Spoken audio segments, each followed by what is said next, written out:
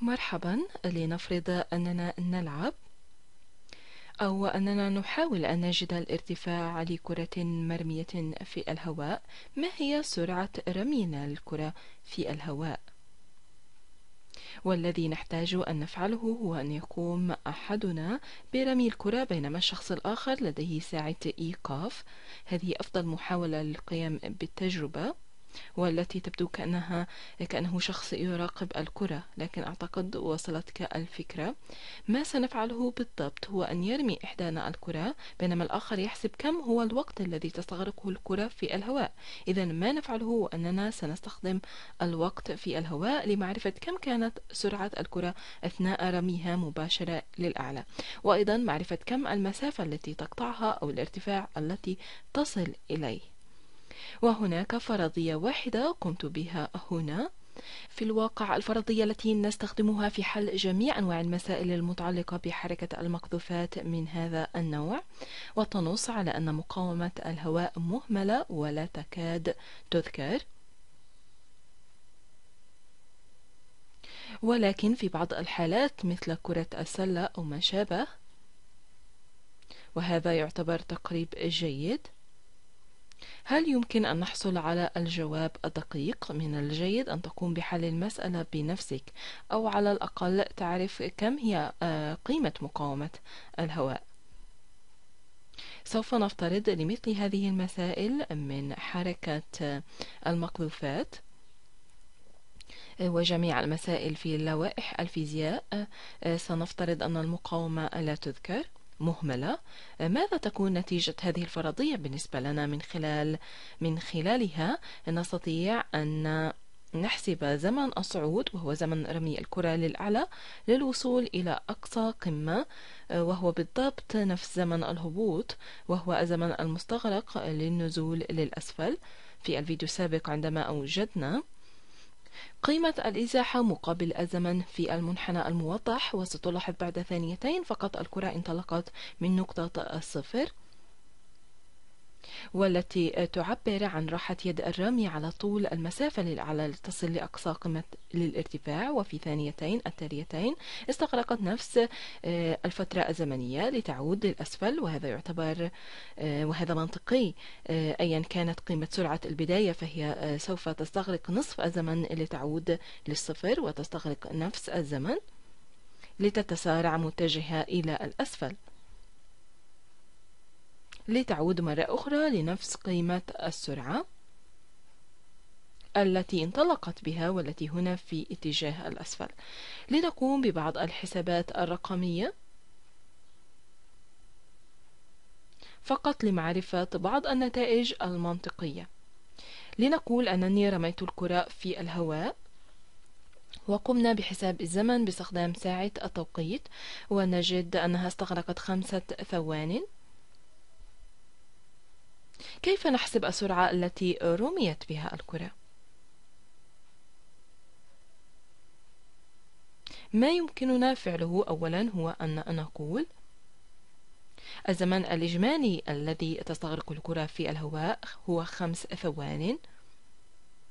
لنكتب هذا هنا حسنا. هذا يعني التغير في الزمن أثناء صعود الكرة للأعلى سيكون النصف.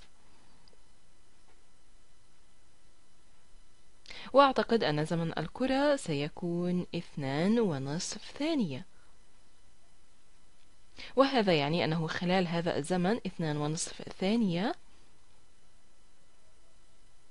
انطلقت بسرعة ابتدائية أيا كانت هذه السرعة.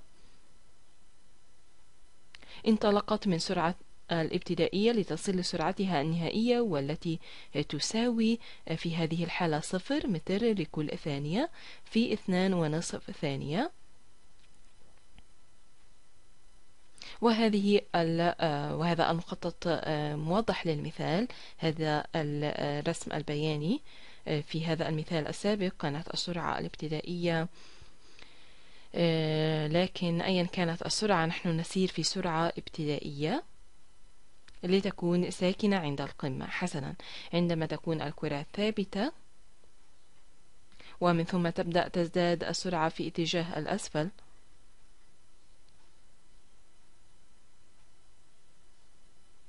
إذا تأخذ اثنان ونصف ثانية لتسير من السرعة الابتدائية إلى الصفر. إذا نعرف ما هو تسارع الجاذبية. نعلم التسارع. تسارع الجاذبية هنا ونفترض أنه ثابت.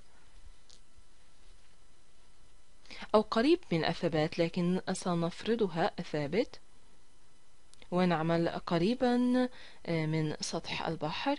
آه، إذا هو سالب آه، تسعة فاصلة ثمانية متر لكل ثانية لكل ثانية تربيع. ولنفكر في هذا. هذا التغير في السرعة وهو التغير في التغير في السرعة. التغير في السرعة هو السرعة النهائية. ناقص السرعة الابتدائية. وهي نفس آه، الشيء كالصفر ناقص السرعة الابتدائية. لأننا بدأنا من السكون. وهي سالب السرعة الابتدائية. هذه طريقة أخرى للتفكير في التغير في السرعة. أظهرنا للتو تعريف التسارع. التغير في السرعة يساوي التسارع ويساوي آه، التسارع. يساوي التسارع سالب تسعة فاصلة ثمانية بالعشرة متر لكل ثانية تربيع آه، ضرب الزمن أو تغير في الزمن. ضرب الزمن آه، وهو أو تغير في الزمن. ونحن نتحدث عن النصف الأول من زمن الكرة في الهواء. إذا التغير في الزمن هو اثنان ونصف ثانية. ضرب إذا هذا ضرب اثنان ونصف ثانية. إذا ما هو التغير في السرعة؟ وهو نفس الشيء كسالب السرعة الابتدائية. سأحضر الحاسبة لنستخدمها. حسنا ها هي الحاسبة. هنا على الشاشة. إذا هي سالب تسعة فاصلة ثمانية متر لكل ثانية تربيع. تسعة فاصلة ثمانية لكل ثانية تربيع ضرب اثنان ونصف. ضرب اثنان ونصف ثانية ستعطينا الناقص أربعة وعشرون فاصلة خمسة. إذا هذا يعطينا هذا يعطينا سأكتب هذا بلون جيد. هذا يعطينا أربعة وعشرون ونصف متر لكل ثانية. هذه ثواني تلغى مع بعضها مع هذه الثواني في المقام. إذا لدينا واحد في المقام ومتر لكل ثانية وهذا نفس الشيء كسالب مثل سالب السرعة الابتدائية. هذا يساوي سالب السرعة الابتدائية وهي نفس الشيء كتغير في السرعة. إذا نضرب الطرفين في سالب وسنحصل على السرعة الابتدائية. إذا يمكن حساب ما هي السرعة.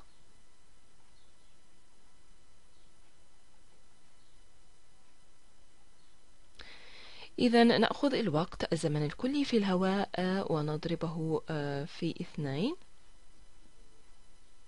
ونضرب هذا في التسارع للجاذبية.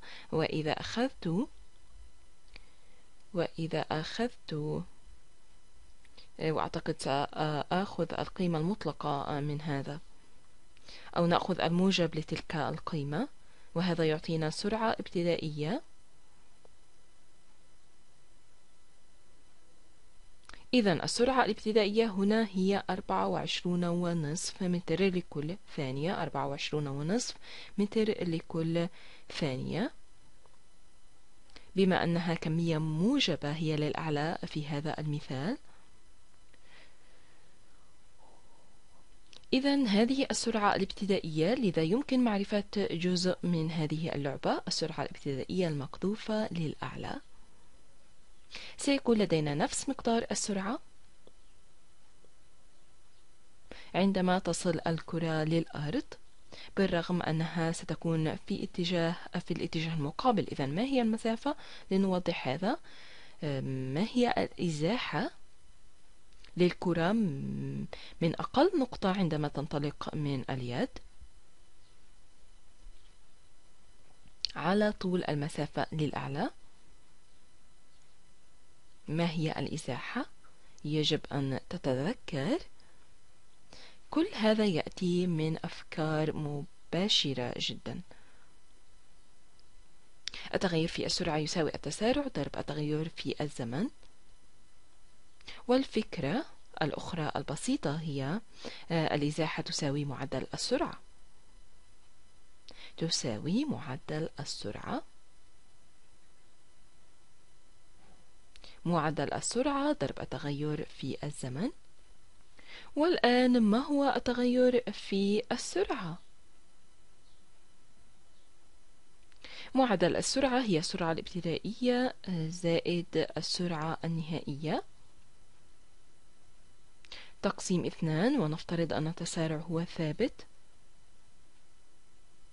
هكذا حرفيا المتوسط الحسابي هو السرعة الأولية والنهائية على اثنان.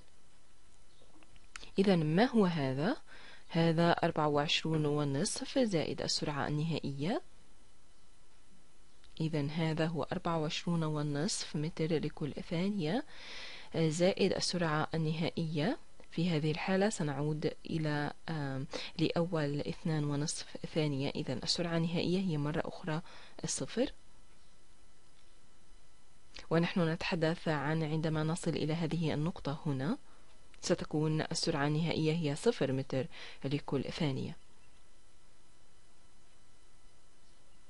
إذا زائد صفر على اثنان هذا سيعطينا متوسط السرعة.